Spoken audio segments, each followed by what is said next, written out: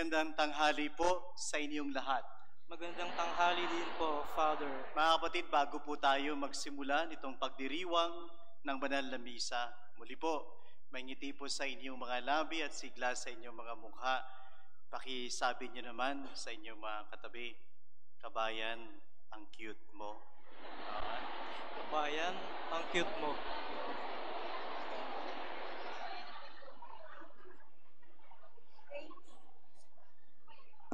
Napakahaba na tanong na sabi niyo. ah. Cute lang yun. Okay? So, taglay po ang sigla at saya sa ating mga puso. Simulan na po natin ang pagdiriwang nitong banal na misa. Sa ngalan ng Ama at ng Anak at ng Espiritu Santo. Amen. Sumainyo ang Panginoon. At sumayo rin. Ipinagdiriwang ho natin ngayon ang Mission Sunday. Inaalaala ho natin ngayon ang mga misyonero, ang mga kapatid ho natin, tayong lahat, na nagbibigay ng panahon upang ipalaganap ang mabuting balita ni Jesus. At ganoon din ho, ipinagdarasal din ho natin ang misyon ng ating simbahan na siyang ipinagpapatuloy ang gawain ng ating Panginoong Hesus na ipalaganap ang mabuting balita, lalo't higit sa mga hindi pa nakakarinig nito. Ihanda po natin ang ating mga sarili.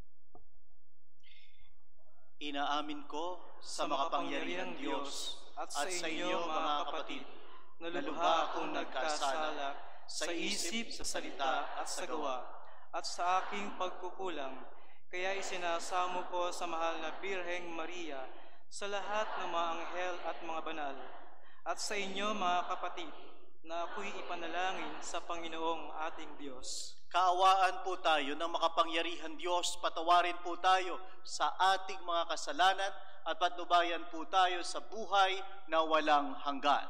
Amen.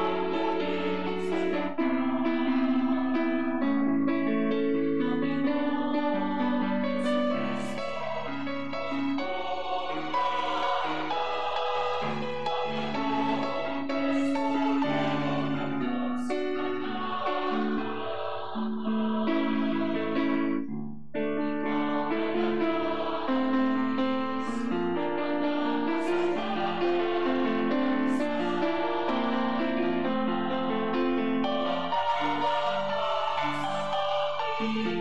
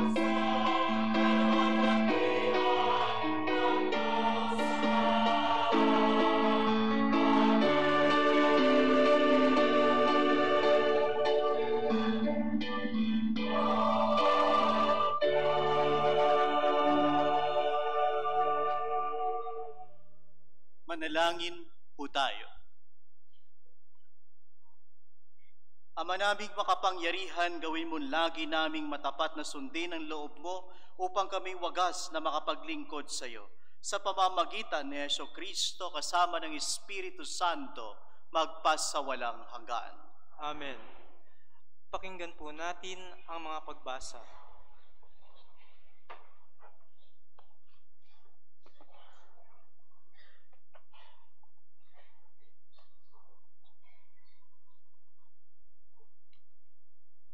Pagbasa mula sa aklat ni Propeta Isayas.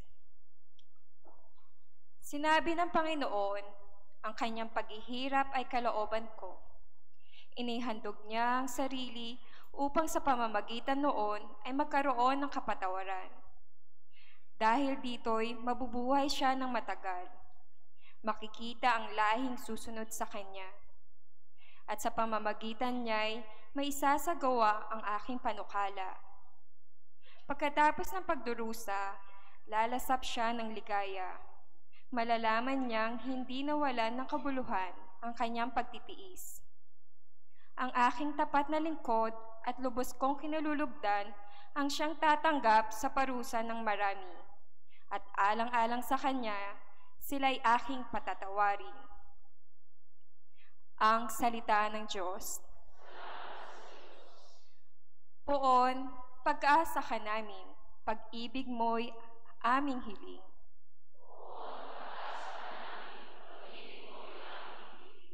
Panginooy tapat sa kanyang salita at maaasahan ang kanyang ginawa.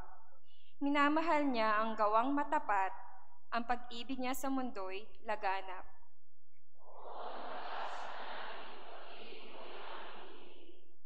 Ang may takot sa Diyos at nagtitiwala sa kanyang pag-ibig ay kinakalinga. Hindi babayaang sila ay mamatay. Kahit magtagutom, sila ay binubuhay.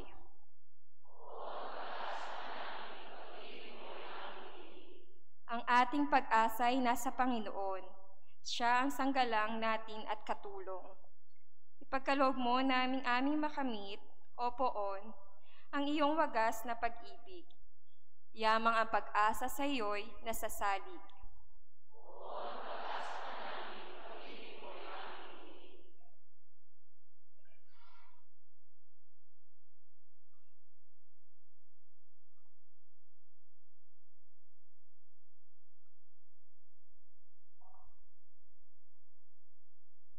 Pagbasa mula sa sulat sa mga Hebreo. Mga kapatid, magpakatatag tayo sa ating pananampalataya, yamang mayroon tayong dakilang saserdote na pumasok sa kalangitan sa harapan ng Diyos. Walang iba kundi si Jesus na anak ng Diyos. Ang dakilang saserdote natin ito ay nakauunawa sa ating mga kahinaan, sapagkat sa lahat ng paraay, tinukso siyang tulad natin, ngunit hindi nagkasala.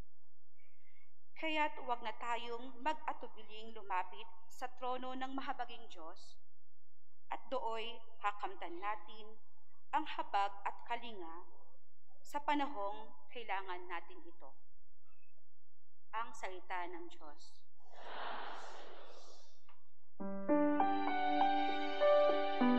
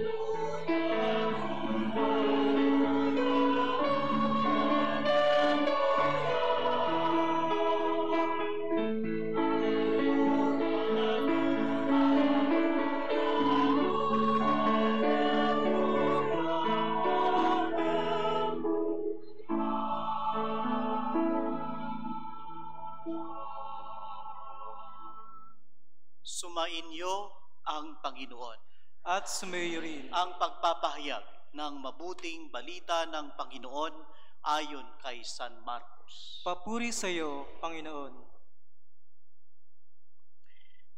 Noong panahong iyon, lumapit kay Jesus sina Santiago at Juan na mga anak ni Zebedeo.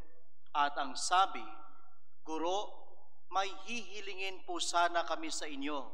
Ano iyon? Tanong ni Jesus. Sumagot sila, Sana'y makaupo kami katabi ninyo sa inyong kaharian, isa sa kanan at isa sa kaliwa. Hindi ninyo nalalaman ang inyong hinihingi, sabi ni Jesus sa kanila. Mababata ba ninyo ang hirap na babatahin ko? Pabibinyag ba kayo sa binyag na daranasin ko? Opo, tugon nila. Sinabi ni Jesus, ang hirap na babatahin ko'y babatahin nga ninyo at kayo'y bibinyagan sa binyag na daranasin ko. Ngunit wala sa akin ang kapangyarihan at pagpapasya kung sino ang maupo sa aking kanan at sa aking kaliwa. Ang mga luklukang sinasabi ninyo'y para sa mga pinaghahandaan. Nang marinig ito ng sampung alagad, nagalit sila sa magkakapatid. Kaya pinalapit sila ni Jesus at sinabi, Alam ninyo na ang itinuturing na pinuno ng mga hintil ay siyang pinapanginoon at ang mga dinadakila ay siyang nasusunod. Ngunit hindi ganyan ang dapat umiral sa inyo. Sa halip, ang sino man sa inyo na ibig maging dakila ay dapat maging lingkod. At sino mang ibig maging pinuno ay dapat maging alipin ng lahat. Sapagkat ang anak ng tao ay naparito, hindi upang paglingkuran, kundi upang maglingkod at ibigay ang kanyang buhay sa ikatutubos ng lahat. Mga kapatid, ang mabuting balita ng ating kaligtasan. Pinupuri ka namin, Panginoong Heso Kristo.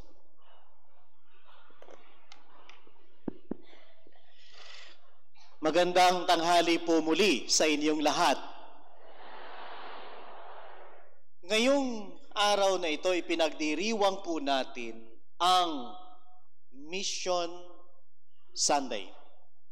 Pinapahalagahan ng simbahan ang misyon. Ano ba ang misyon? Malimit, ang alam lang natin yung misyon ay si Tom Cruise. Di ba? Mission, impossible. O si Karen Davila, mission, possible. Pero ano ba ang misyon? Ano ba ang misyon na mayroon sa simbahan? Ang alam mo natin sa misyon, may mga pare, mga madre, pinapadala sa iba't ibang lugar, sa kasulok-sulukan ng mundo, di ba? Para gumawa ng misyon. Misyon din po yun. Pero ano ba ang misyon? Sa Pilipino, madali yun. Misko yun. Yaks, di ba? Ang misyon ay galing sa salitang misyo. Madali ding unawain sa Pinoy. How are you? Miss you. Di ba?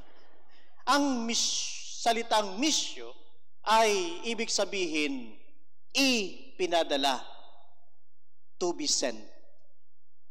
Ang misyon ng simbahan ay ito. Upang ipagpatuloy ang gawain ni Jesus. Ano ba ang gawain ni Jesus? Ang gawain ni Jesus ay ipahayag ang mabuting balita na ang paghahari ng Diyos ay nandyan na. At ang kaligtasan ng tao ay nandyan na. Na ang Diyos ay nandyan na. Yan ang misyon ni Jesus na pinagpapatuloy ng simbahan. Misyon. Ano ba ang mayroon sa misyon? Tatlong bagay ang nais kong sama-sama ho nating pagmuni-munihan ngayon. Ang isang gumagawa ng misyon o tawag nating misyonero ay ito. Tinawag, hinubog, at sinugo or pinadala. Ang mga alagad ni Jesus, tinawag niya sila. Yung mga alagad niya, nakita niya sa baybayin, tinawag niya, halik kayo, sumunod kayo sa akin, halik kayo, gagawin ko kayong mamamalakaya, hindi na ng mga isda, kundi ng mga tao. Halik kayo, sumunod kayo sa akin. Sumunod sila. Hinubog sila ni Jesus. Sa anong paraan? Namuhay sila araw at gabi kasama ni Jesus.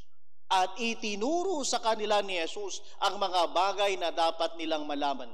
Pagkatapos na tinuruan, hinubog, pinadala na.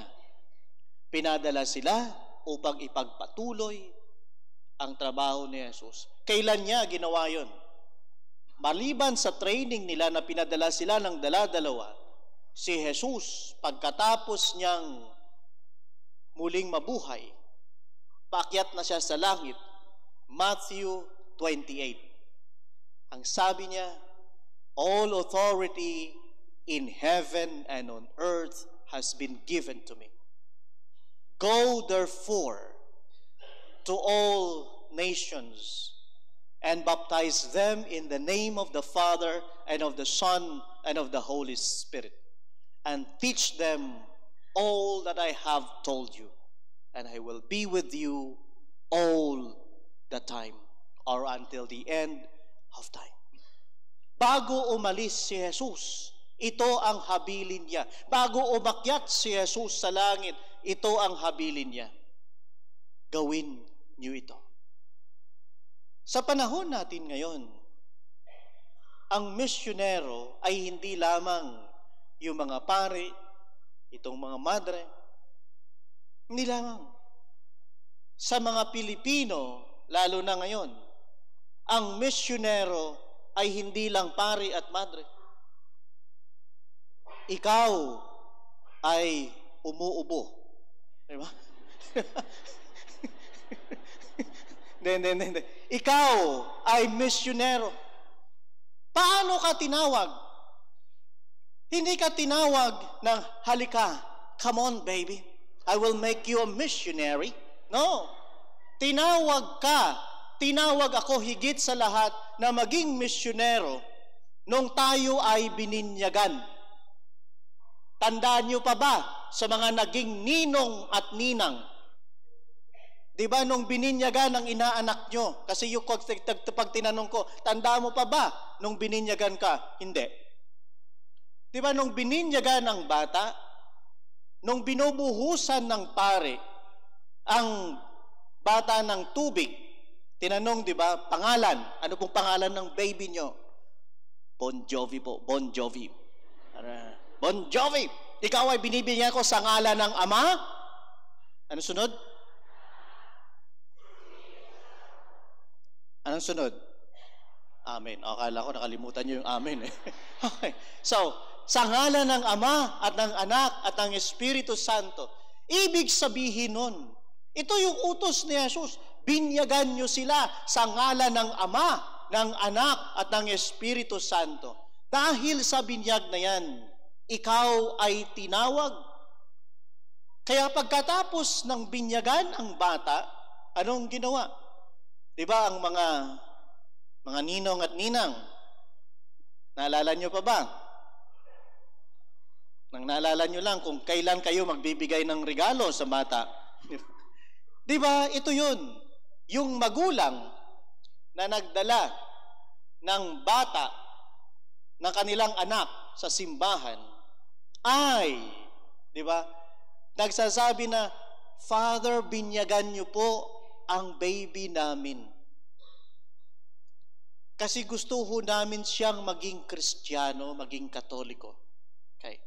Sa halip na ang simbahan ang huhubog, magtitrain, magpapaalam sa bata kung ano ang pananampalatayang kanyang aakapin o kanyang inakap, responsibilidad ng magulang, kasama ang ninong at ninang, okay?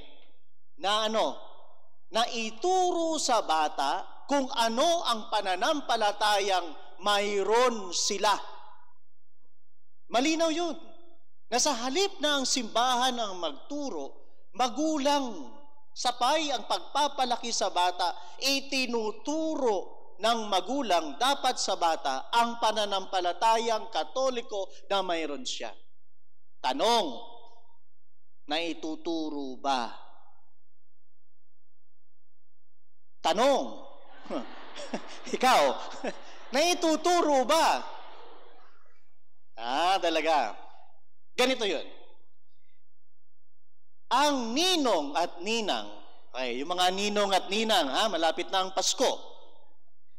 Ito yung isa sa mga responsibilidad nyo na tulungan ang magulang na palakihin ang bata, turuan ang bata ng pananampalatayang katoliko. Kaya nga requirement, lalo na dito sa St. Mary's, kapag nagpabinyag, kailangang magbigay ng confirmation certificate ang ninong at ninang. Bakit? Tanungin niyo ako kung bakit. Kasi, kasi dapat ang ninong at ninang ng batang bibinyagan para maging katoliko ay dapat katoliko din. Yun. Dahilan? Kasi paano mo palalakihin ang bata at ituturo ang pananampalatayang katoliko na siyang ipinangako mo sa simbahan, na siyang ituturo mo sa bata, kung ang ninong at ninang niya ay hindi katoliko. Di ba? So, tinawag, hinubog, ngayon pinadala. Paano ipinapadala? Sa mga pari at madre madali, pinapadala kami. Sa ayaw namin at sa gusto, pinapadala kami. Kaya nandito ako ngayon. ngayon, ito po yun. Bilang isang mananampalataya, ito yung hamon sa atin ngayon, lalo na sa paggugunita nitong Mission Sunday, na ang isang Pilipinong Katoliko ay likas na misyonero. Ayaw nyo maniwala. ang isang Pilipinong Katoliko ay likas na misyonero. Hindi lang pari nyo ang misyonero. Hindi lang mga madre nyo ang misyonero. Kayo mismo ay misyonero. Dala ng binyag, of course. Pero sa ngayon, saan mang sulok ng mundo, may Pilipino. Hindi ko lang alam sa impyerno kung may Pilipino. Okay, hindi ko pa narating, hindi ko pa narating. Narating nyo na ba? May makapagsabi ba kung mayroon? Di ba? Pero saan mang sulok ng mundo sa pagkaalam ko may Pilipinong Katoliko. At may kapag mayroong Pilipinong Katoliko, siya ang nagbibigay ng sigla sa pamayanang Kristiyanong kinabibilangan niya. Amen. Halimbawa, dito sa Dubai, Iba, naalala nyo? Yung simbang gabi natin? Yan yung matatawag natin, sabi ito ng retreat master namin, nag-retreat kami nung nakaraan eh. Sabi niya, the outstanding Catholic. Pag simbang gabi talagang outstanding Catholic tayo. Kasi we're standing outside. Kaya outstanding Catholic. Hindi biro yan. Sa buong buhay ko, bilang pare, na-assign na ako sa Mindanao, sa Luzon. Pero dito ko lang nakita yung simbang gabi na pagkadami-dami. ay kulang na lang may maupo at makikalong sa pari. Salamat sa Diyos at hindi pa nangyayari yon. Kasi hirap, the Lord be with you. And also with you. Di ba? Kasi may nakakahalong sa harapan mo. Sa dami. That is typical Pilipino. Paano ka naging misyonero? Yung pagdalo mo sa okasyon na yon is already doing your mission. Why? Dahil you inspired others to be there. Naalala ko nung simbang gabi, may mga taga-ibang lugar eh, hindi lang taga-Dubai. Para picture, picture, picture. Taga saan ko kayo? Ay, sa malayo lugar, taga Al Ain ho kami. Dubai po ito. Ay, masaya ho rito. That means your joy, our joys, ay nakakaubo. Joy, nabanggit ko lang si Joy. Talaga, inubo, inubo, ha? My joy, your joy, di ba? Gives joy to others na nakaka-inspire. Pati yung patulog-tulog. Di ba? Ano, sisimbang gabi ka mo? Parang ayaw ko eh. Pero nung marinig niya yung kwentuhan sa buong flat, siya lang ang hindi sumimba eh. Siya lang. Hindi siya makapasok. Hindi siya makapasok sa oh, ang galing-galing naman, ang ganda-ganda, naglakad lang kami, naglakad lang kami. Ano yon? So napilitan siyang sumimba. At nung sumimba na, siya na lang ang nagpatuloy ng siyam na gabi, yung iba, naiwan na. Oh. Siya yung nakatapos, yung iba humihilik na. Tapos sasabi, ay siyam na gabi pala yun? Bakit? That is mission. Giving inspiration. Inspiring others to celebrate. Yan po yun. Kaya may dalawang klase ng misyon. Tinatawag nilang ad intra at ad extra. Yung ad intra, yung dito lang. Minimisyon natin ang bawat isa, hinihikayat natin ang bawat isa na maging buhay ang pananampalataya niya. Ilan kaya ang nabubuhayan ng pananampalataya tuwing dadalo ng misa natin dito sa St. Mary's? Napapansin ko yan mula sa opisina ko. Pag naglalakad kayo mula sa gate, kita ko eh. Ang posture nyo, ang lakad nyo, ganun pa. Paglabas nyo, iba.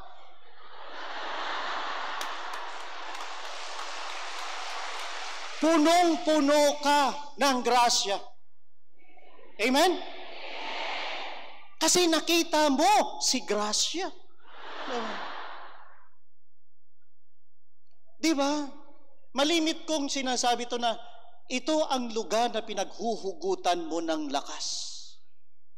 At ito din ang lugar na ibinabahagi mo ang lakas mo by inspiring others. Add extra. Umalis ka ng Pilipinas. Dalawa ang baon mo?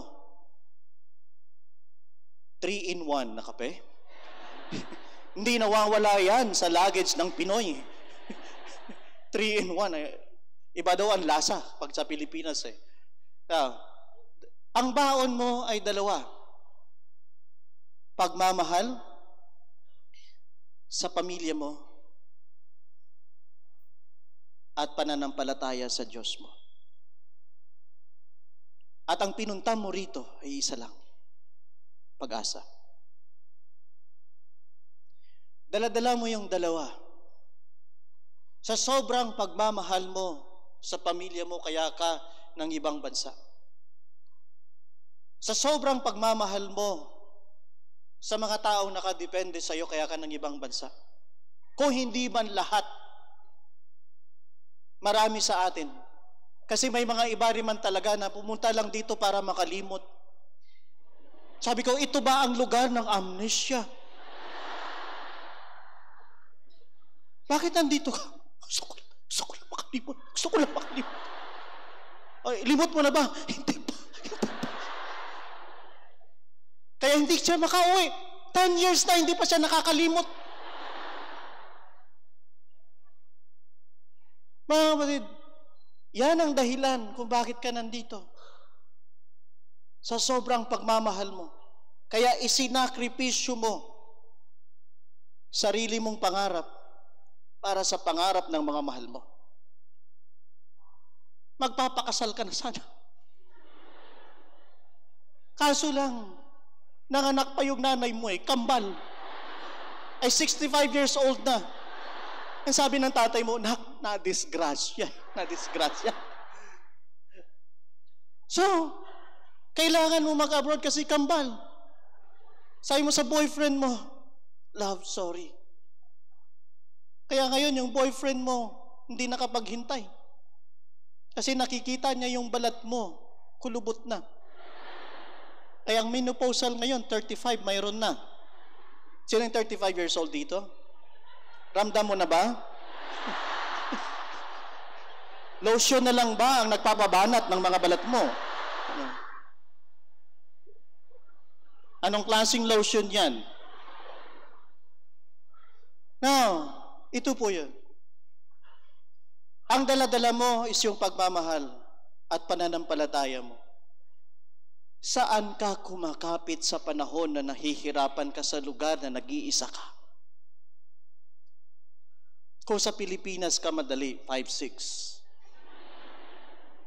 Pero dito, marami sa atin, sa Diyos lang kumakapit.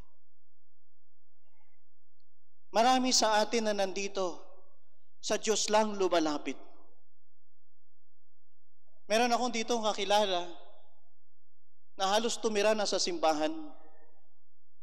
Nagtanong nga eh, pwede ba daw, pwede ba daw siyang makitira dyan sa guard house? Sabi ko, guard lang. Hindi ka naman guard. Alam niyo, tinanong ko siya, bakit? Father, tuwing nalulungkot po ako, simbahan lang pinupuntahan ko kasi ito lang ang lugar na pwede akong umiyak. Itong lugar na ito at yung adoration chapel na yan, yan ang paborito niya. Kasi ito lang ang lugar na alam kong pinapakinggan ako ng Diyos sa mga iyak ko. Kailangan ko lang ng iyakan. And God is my crying shoulder. The shoulder that I can cry on. That's God. At sa dahil sa kapit niya sa Diyos, ngayon, naging matatag siya.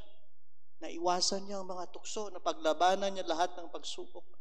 Naging matatag siya.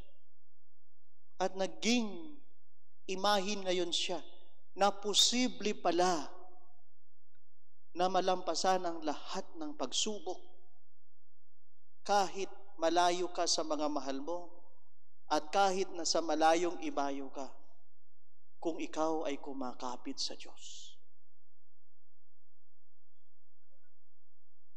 Ang daladala mo, pagmamahal at pananampalataya para tuparin ang pangarap mo, ang inaasahan mo sa lugar na to. Kaya malimit kong sinasabi, ka-faith lang sa Diyos. Kapag kumakapit ka sa Diyos, samahan mo ng faith. Kaya ka-faith sa Diyos. At ilan sa atin ang nagtutulungan para makapaglakbay tayo at makahakbang tungo sa hinahangad nating kabanalan. Ilan sa atin ang nagtutulungan, pinapaalalahanan ng bawat isa na magdasal, lumapit sa Diyos, manatili sa Diyos sa kabila ng lahat. That is mission. Kasi ngayon, kaagapay ka ng kababayan mo palapit sa Diyos. Sabi niya, dapat may background ang homily mo.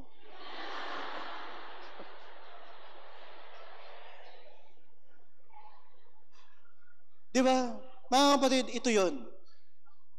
You are here not just sustaining your family, but also doing your mission for the church. Yung pananampalatayang mayroon ka. Ano ba ang mayroon sa iyo bilang isang Pilipinong Katoliko? Na kahit ramdam mo na yung hirap ng buhay, pagsubok ng buhay, nakakangiti ka pa rin. Pansin nyo? Ang Pinoy, naipit na, nakaray, aray naman eh. aray. Di ba? Pinoy lang ang mayroon yan. That even in the midst of pain, you can smile. That even in the midst of suffering, you can smile. Hindi yung smile ng salesman o sales lady. Kasi train silang mag-smile eh. Morning! Morning! ito po, mura lang po ito, mura lang po ito. Kapag tapos ng customer, ano ko, alam mo, bigat talaga ng tatapit ko. But that smile coming from the heart. Why? Kasi ang isang taong punong-puno ng pagmamahal at pag-asa ay lumalakas ang pananampalataya. Napansin nyo? Dahil sa pangarap mo, sa pag-asa mo, siya yang dahilan kung bakit tumatatag ka rito. At dahil dyan, na-encourage mo ang ibang tao na gawin ang ginagawa mo. Ilan kaya sa atin na nandirito ngayon na hindi naman pala simba sa Pilipinas? Pero pagdating sa Dubai, hindi mo mapigilan kapag dating ng, pagdating ng biyernes na sumimba. Ilan kaya sa atin na nandito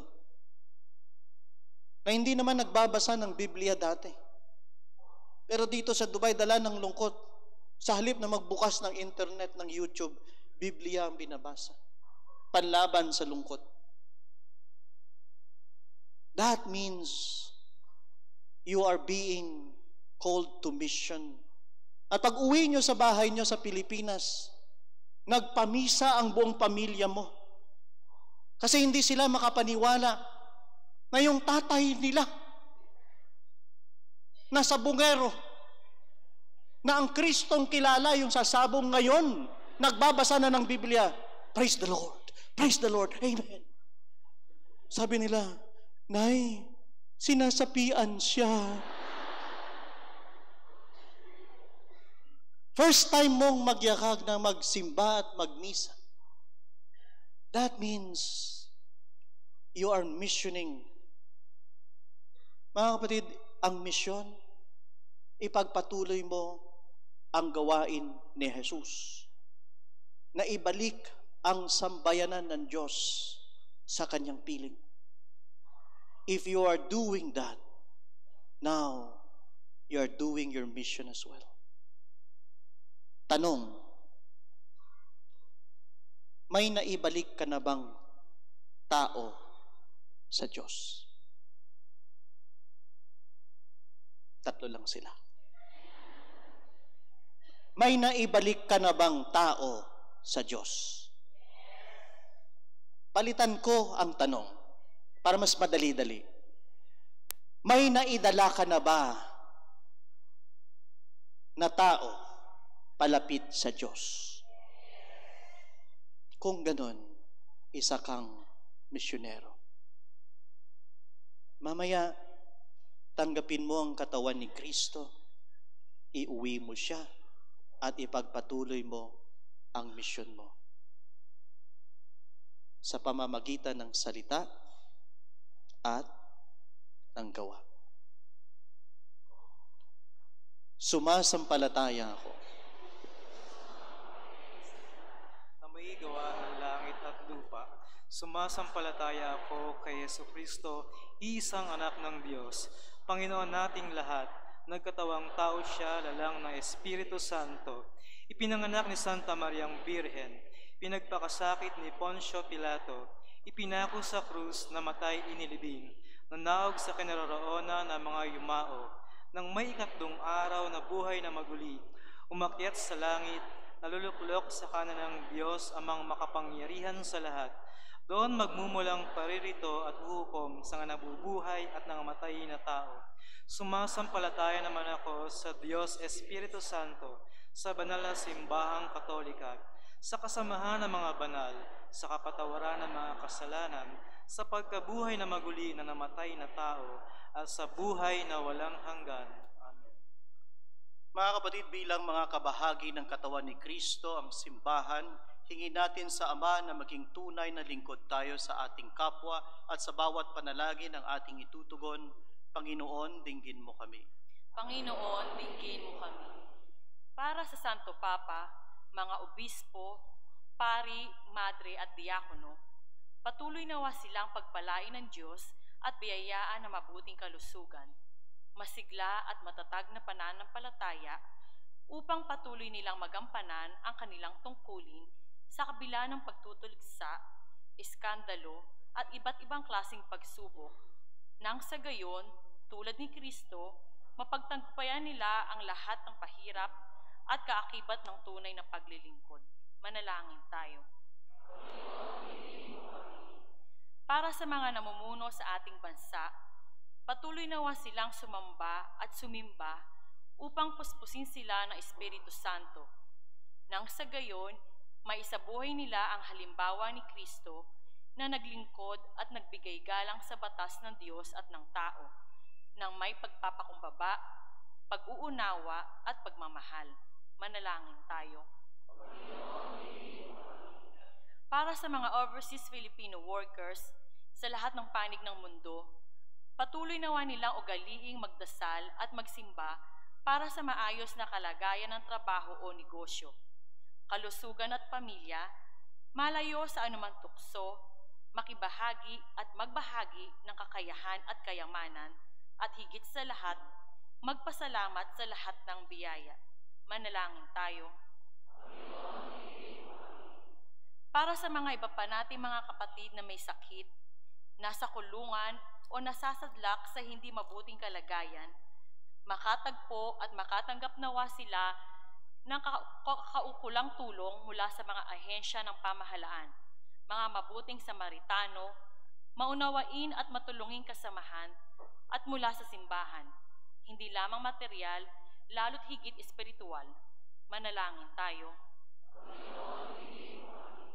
Para sa lahat ng misyonero, patuloy nawa nilang gawing sandigan ang mga salita ni Kristo na ang lahat na umiwan ng kanilang pamilya, ari-arian o kayamanan, at sumunod sa Kanya ay magkakamit na walang hanggang kaligayahan sa piling niya. Manalangin tayo. Para sa lahat ng yumao, matanggap nawa nila ang kapatawaran ng kanilang kasalanan at makamtan ang buhay na walang hanggan. Manalangin tayo. Ama namin sa iyong kagandahang loob, nagmumula ang lahat ng bagay. Ipagkalob mo ang aming panalangin upang matupad namin ang misyong ipinagkatiwala mo sa amin. Hinihiling namin ito sa ngalan ni Heso Kristong aming Panginoon. Amen. Sa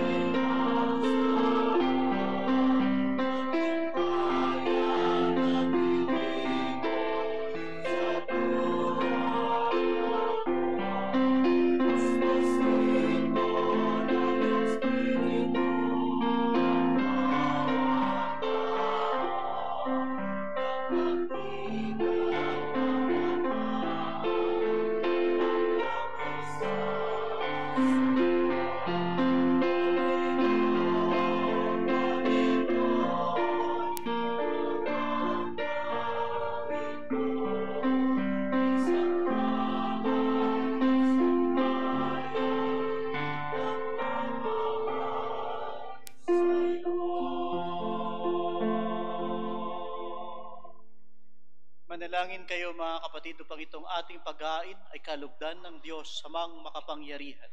Tanggapin nawa ng Panginoon itong paghahain sa iyong mga kamay, sa kapurihan niya at karangalan sa ating kapakinabangan at sa buong sambayanan niyang banal.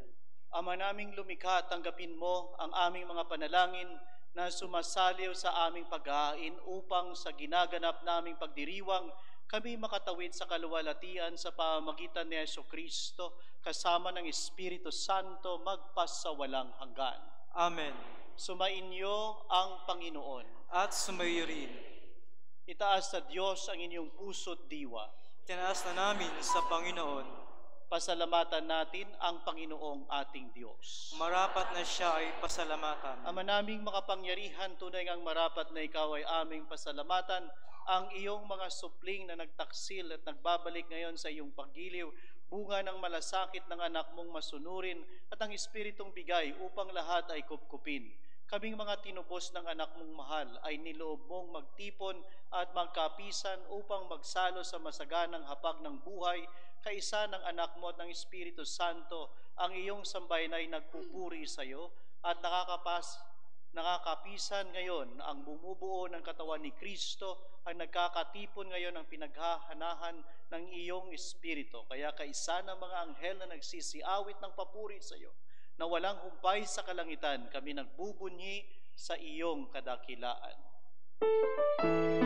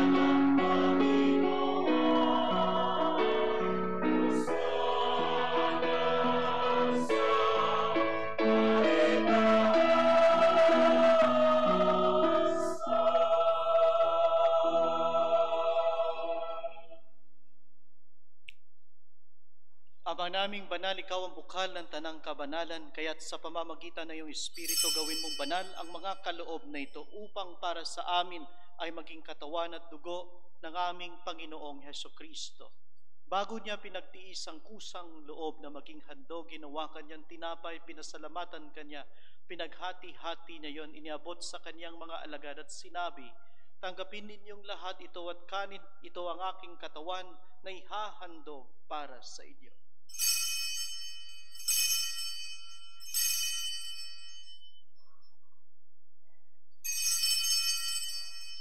Gayon din naman nung matapos ang hapunan, hinawakan niyang kalis, muli kanyang pinasalamatan. Iniabot niya ang kalis sa kanyang mga alagad at sinabi, Tanggapin ninyong lahat ito at inumin ito ang kalis ng aking dugo, ng bago at walang hanggang tipan, ang aking dugo na ibubuhos para sa inyo at para sa lahat sa ikapagpapatawad ng mga kasalanan. Gawin ninyo ito sa pag-alaala sa akin.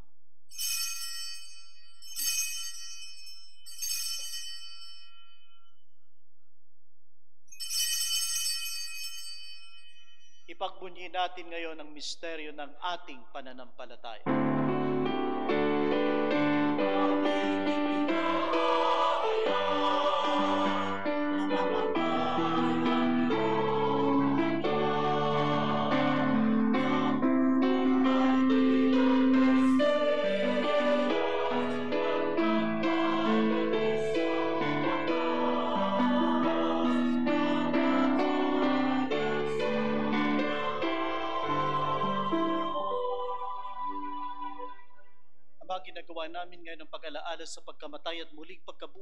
Anak, kaya inialay namin sa iyo ang tinapay na nagbibigay buhay at ang kalis na nagkakaloob ng kaligtasan. Kami nagpapasalamat dahil kami iyong minarapat na tumayo sa harap mo para maglingkod sa iyo. Isinasamo namin kaming magsasalo-salo sa katawan at dugo ni Kristo ay mabuklod sa pagkakaisa sa pamamagitan ng Espiritu Santo. Amalingapin mo ang iyong simbahang laganap sa bundaigdig. Puspusin mo kami sa pag-ibig kaisa ni Francisco na aming Papa at ni Paul na aming Obispo at ng Tanang Kaparian. Alalahanin mo rin ang mga kapatid naming nahimlay na may pag-asang sila'y muling mabubuhay, gayon din ang lahat ng mga pumanaw. Kaawaan mo sila at patuloyin sa iyong kaliwanagan. Kaawaan mo at paging dapatin kaming lahat na makasalo sa iyong buhay na walang wakas, kaysa ng mahal na Berhing Maria na ina ng Diyos, kaysa ng mga apostol at ang lahat ng mga banal na namuhay dito sa daigdig ng kalugod-lugod sa iyo. Maipagdiwang nawa namin ang pagpupuri sa ikararangal mo sa pamamagitan ng iyong anak na aming Panginoong Heso Kristo.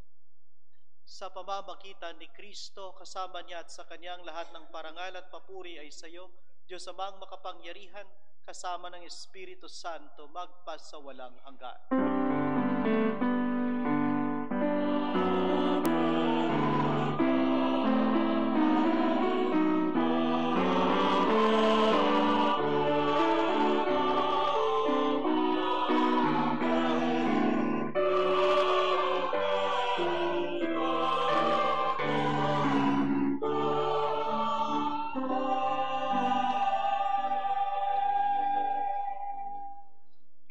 sama-sama tayo manalangin sa ating amang nasa langit. Ama Ama namin, namin, sumasalangit ka, sambahin ang ngalan mo, mapasa amin ang kaharian mo, sundin ang loob mo dito sa lupa para lang sa langit. Bigyan mo kami ngayon ng aming kakanin sa araw-araw, at patawarin mo kami sa aming mga sala, para na pagkapatawad namin sa nagkakasala sa amin. At huwag mo kaming ipahintulot sa tukso, iadya mo kami sa lahat ng masama. Hinihiling namin kami i-adjust sa lahat ng masama, pagkalooban ng kapayapaan araw-araw, iligtas sa kasalanan at ilayo sa lahat ng kapahamakan. Samantalang aming pinananabikan ang dakilang araw ng pagpapahayag ng tagapagligtas naming si Yeso Kristo. sapagkat iyo ang kaharian at ang kapangyarihan at ang kapurihan magpakailanman. Amen. Panginoong Yeso Kristo, sinabi mo sa iyong mga apostol, kapayapaan ang iniiwan ko sa inyo, ang aking kapayapaan ang ibinibigay ko sa inyo. Tunghayan mo ang aming pananampalataya at huwag ang aming mga pagkakasala. Pagkalooban mo kami ng kapayapaan at pagkakaisa ayon sa iyong kalooban, kasama ng Espiritu Santo, magpas sa walang hanggan. Amen. Ang kapayapaan ng Panginoon ay laging sumainyo. At sumayo. May sigla at saya, ibigay po natin ang kapayapaan ni Kristo sa isa't isa. Peace to everyone. Kordero ng Diyos na nag-aalis ng mga kasalanan ng sanlibutan, maawa ka sa akin. Kordero ng Diyos na nag-aalis ng mga kasalanan ng sanlibutan, maawa ka sa akin. Kordero ng Diyos na nag-aalis ng mga kasalanan ng sanlibutan, ipagkaloob mo sa amin ang kapayapaan.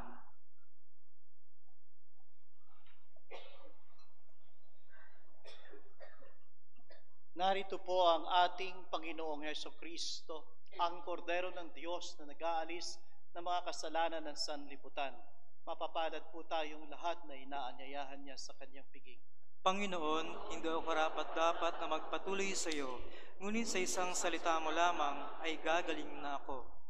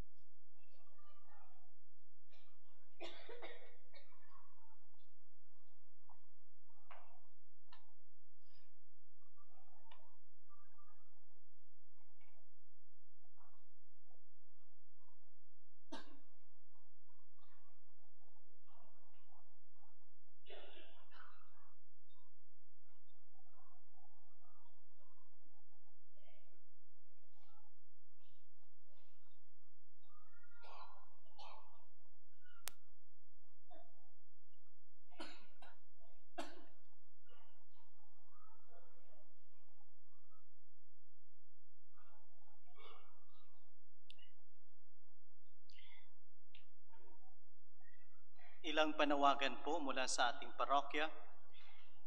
This weekend, we celebrate the Mission Sunday, and all collections will go to Vatican for missionary purpose. Mission Sunday drive in the basketball court and around the church compound. Please patronize and help and pray for missionaries all over the world. And All Saints Day on November 1, Masses as usual. And All Souls Day, November 2, Masses as usual with additional Mass at 4.30 p.m. in Al Jadaf Cemetery. There will be transportation provided to Al Jadaf Cemetery. And there will also be a Mass at Jebel Ali Cemetery at 5 p.m., care of Jebel Ali Catholic Church. And Bible Alive 2019 is now available in the religious article store and church compound. So I'm encouraging each one of us to please buy uh, Bible Alive kasi yun po yung Bible reading po natin daily. So nakalaan po yan para sa ating taga rito po sa United Arab Emirates.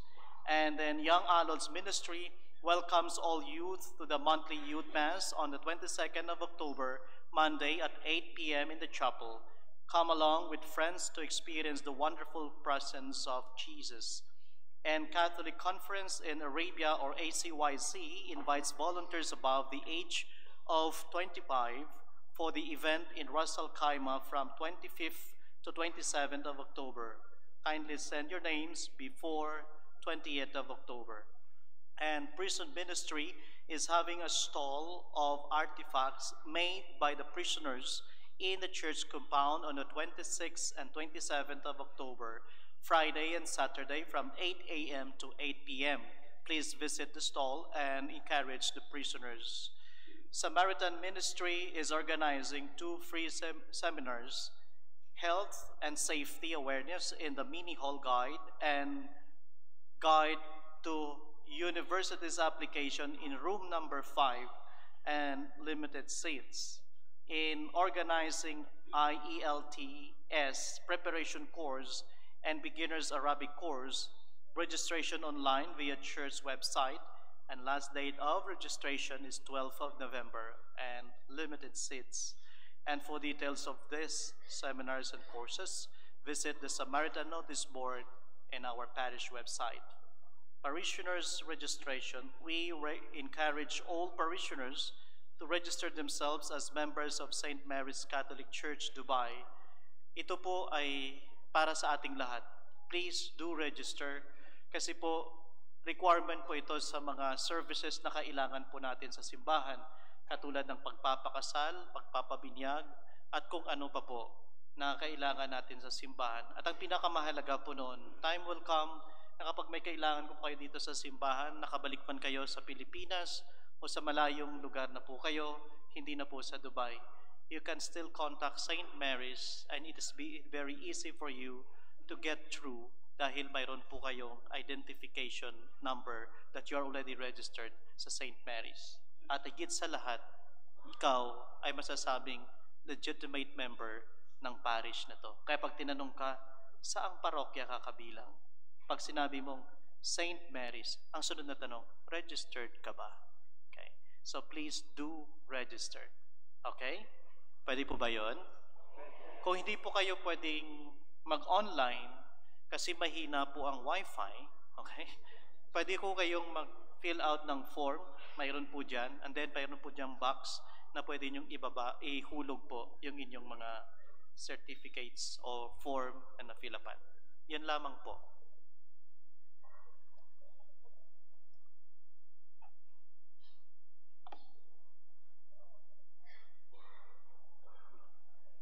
Tinatawagan po ang mga music ministry na nag-participate po sa ating first Grand Praise and Worship uh, in preparation from our retreat.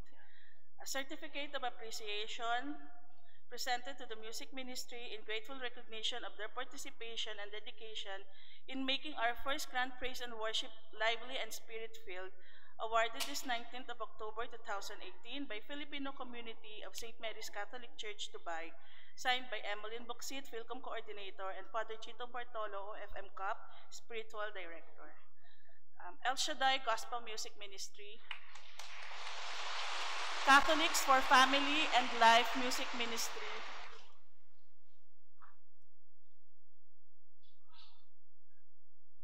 Light of Jesus Music Ministry. Ang Lingkod ng Panginoon Music Ministry.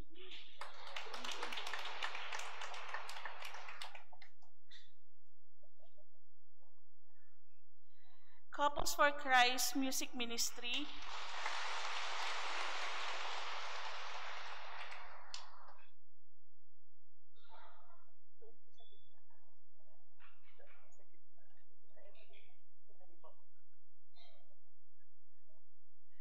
Some Music Ministry from the Lord's Flock.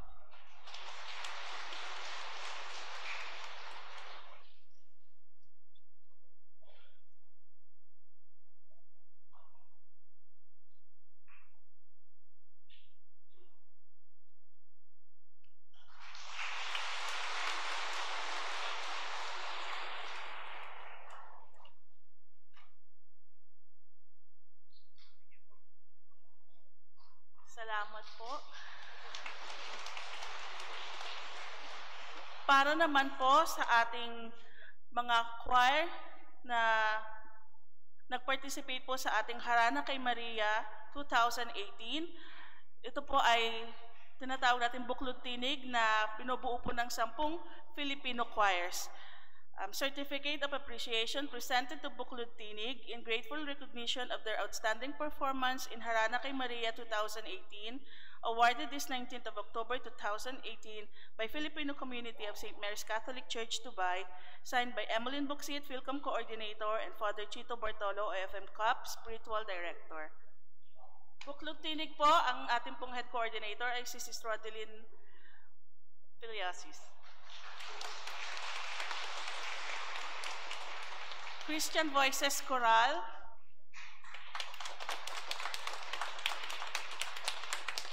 St. Mary's Filipino Community Choir. Couples for Christ Choir. El Shaddai Gospel Choir. Family Angels Choir. Immaculate Presidium Choir.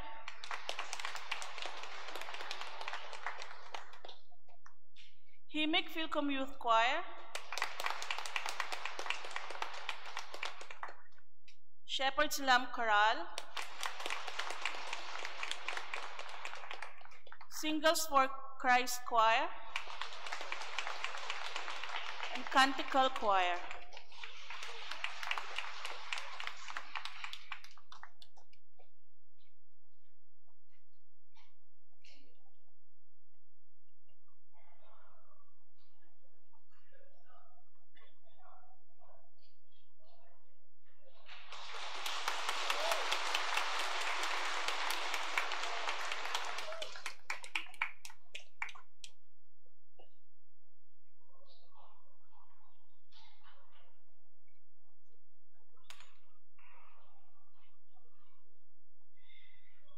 Bago po tayo dumulog o pumunta sa huling panalangin, mga kapatid, yun po ang pagbimisyon. Likas po sa ating mga Pilipino ang pag-awit. At sa pamagitan ng pag-awit, atin pong ipinapahayag sa Diyos ang ating panalangin. Sa parokya pong ito, isa sa mga nagbibigay ng kulay sa ating mga pagdiriwang, hindi lamang sa Filipino community, ganoon din sa mga pagdiriwang sa ating parokya, ay ang mga pag-awit po ng ating mga choir. Likas po sa ating mga Pilipino yan at magagaling po yung ating mga choir. Hindi ko po sila kaboses, mas maganda po ang boses nila.